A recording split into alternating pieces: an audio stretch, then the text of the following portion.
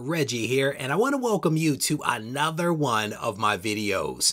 In this video, we are going to take a look at a couple of books that I don't think anybody should be buying right now. And I will endeavor to provide a rationale, a methodology, a thought process behind why I don't think that these are good books to buy. At the end of the day, it's your money, your collection, and you're going to make the right decision. But potentially, I can offer up a few things for you to think about and to consider. Potentially, these books aren't on your radar at all, and that's actually okay as well because for you, hopefully, the rationale, the methodology, the approach will resonate and you can apply it to your own unique situation. At the very end of this video, I will offer up one book for you to think about picking up. With that said, let's get to the video. All right, so the first book that we're going to look at is this one right here. It is Batman Beyond issue number one, the first appearance of Terry McGinnis. People absolutely love this character. There's a lot of excitement for whatever reason around this character right now. And I'll tell you, I don't really know the source of it. I, I don't know why all of a sudden Batman Beyond issue number one has gotten hot, but it seems to be something that is on people's radar. And I don't know whether it has to do with Michael Keaton appearing in the Flash movie. I don't know if it's just part of these recycled rumors that we hear time and time again about, you know, just Batman Beyond coming to live action or whatever it happens to be. But there's a lot of interest in this book right now. Uh, a lot of sales have taken place raw and graded. And so it's just something that we want to be aware of because potentially, due to these rumors, the timing might not be right for this book. But let's go ahead and take a look at it. Because I'm a, a fan of 9.8s from modern comics, this one was released in 1999 we're going to go ahead and look at the 9.8. Uh, and you can see here by this data that's on Go Collect, there are a total of 1,865 graded copies on the census, of which 1,749 of them are universal blue labels. Taking it a step further, 442 of them are a 9.8, which has a, a, fair market value of $1,750. And uh, we go ahead and click on that, and we can look here at the data for this book. On the right hand side, you can see that this book has a one year average of around 1774. The 90 day mark, it was down to 1533 and now it is back up to about $1,600 for this book. Again, potentially because of the rumors that have begun to circulate recently for this comic. It appeared to be on a downward trajectory, but because of this, maybe there's a little bit of a lift that could just be a temporary thing.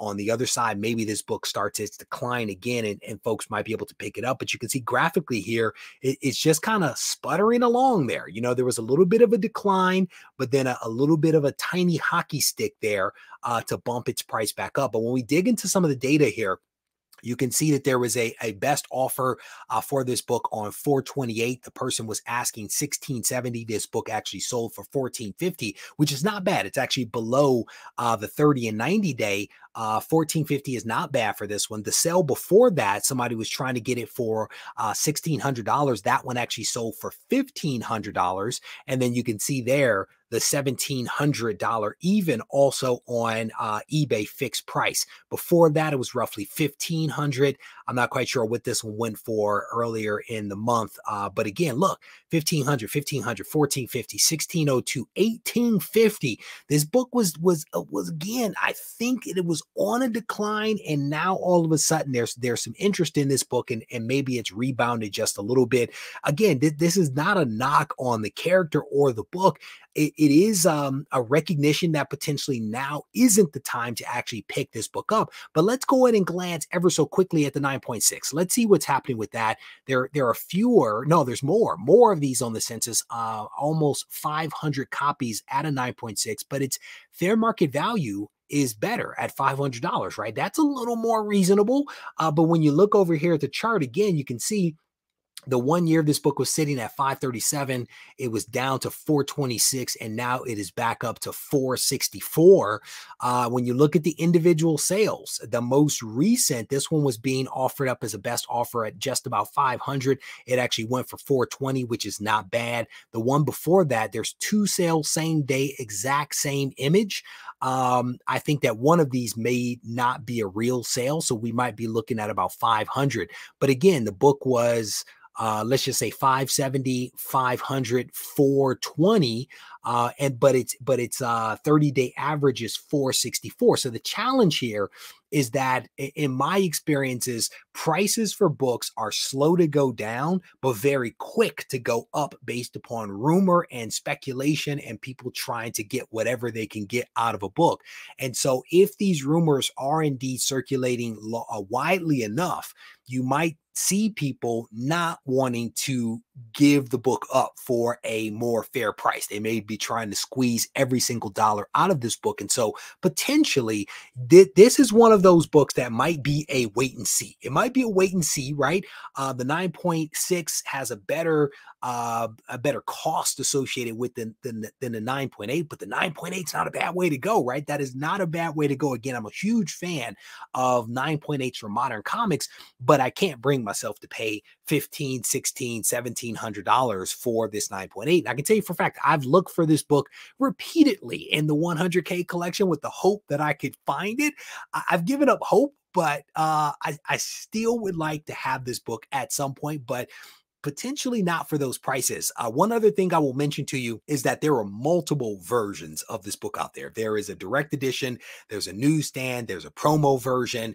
Uh, there, there's I think at least one other version out there. So you definitely, if you decide that you're going to pick it up, make sure that you are buying the right book because if you're buying it on eBay, they may mislabel it. They may not fully realize that there's multiple versions.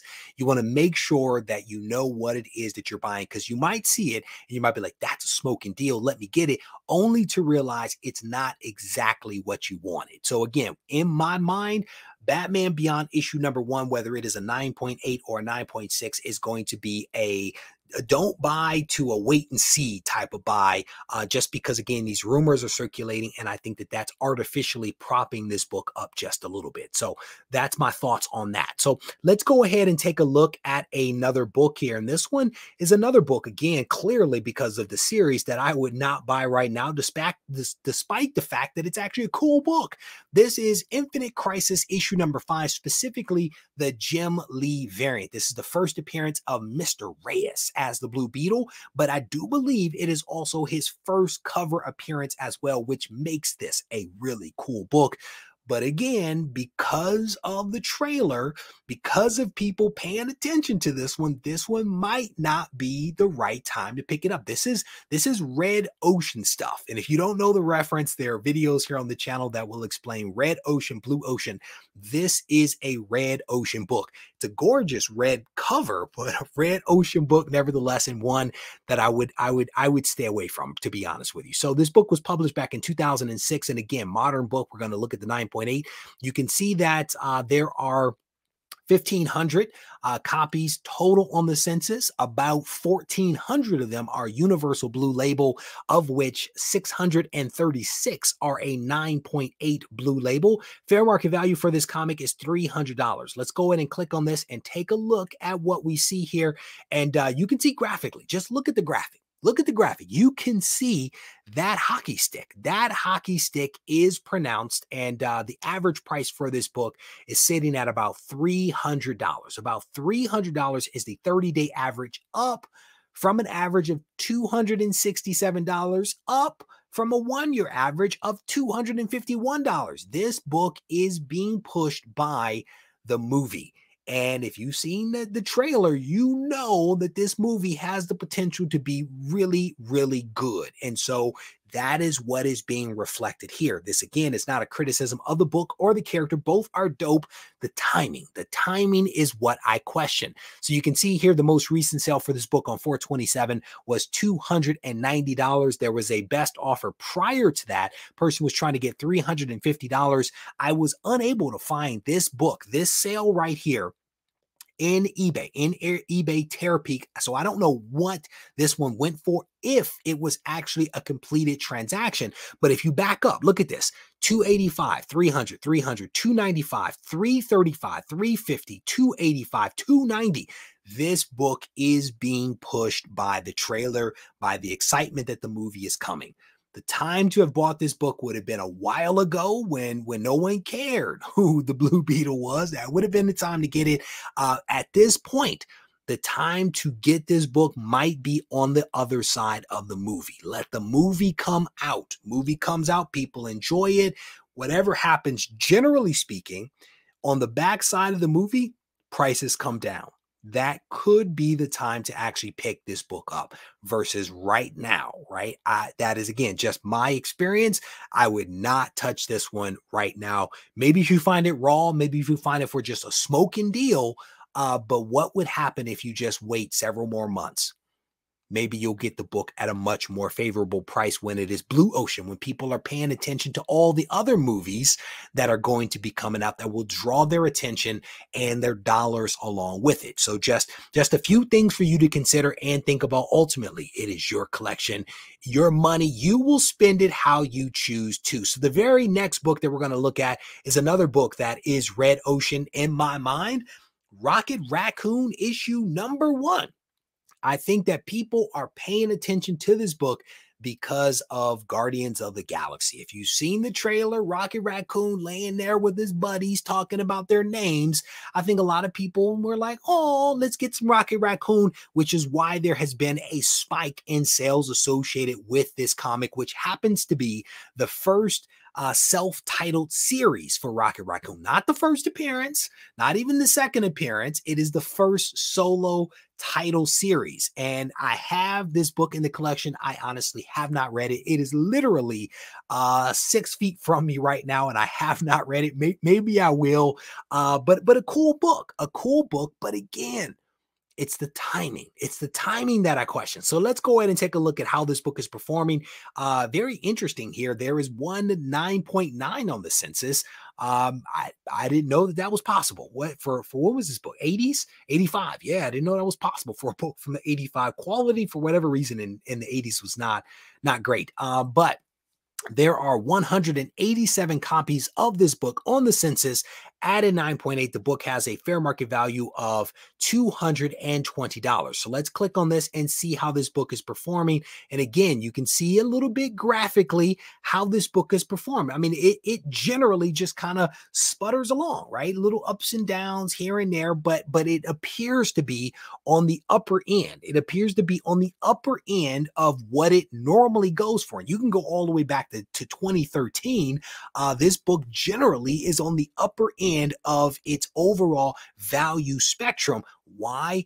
Partly because of Guardians of the Galaxy. I, I think that that's part of what is propelling this book at the present moment. And again, let's be realistic. The book is not terribly expensive, right? So let's let's put it in context. One year average for this book is $200. 90 day average for this book is 225 uh, and the 30 day average is about the same thing 225 not a whole lot of sales in the last little bit here you can see uh, there was one sale on 3 5 for 225 um I don't know if I was able to find this one. This one for $250, the best offer. I don't know that I was able to find that one on eBay. Uh, same thing with this this next one here. So we we won't talk about those, but but if you back up, look at how this book was performing. I mean, at the end of December of 2022, this book was $124. That would have been a great time, great time to go ahead and pick this one up versus where it is right now at 225. And again, my thinking here is that if you are a big Rocket Raccoon fan and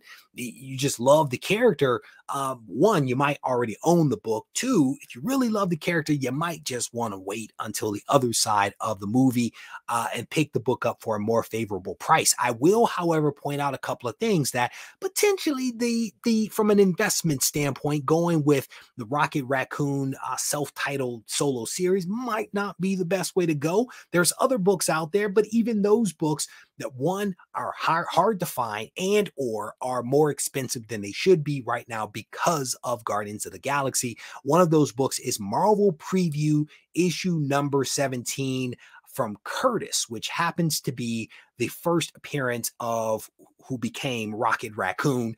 Um, there are only 769 copies out there graded. So, uh, a book that is a little hard to find. It is also kind of expensive, to be honest with you.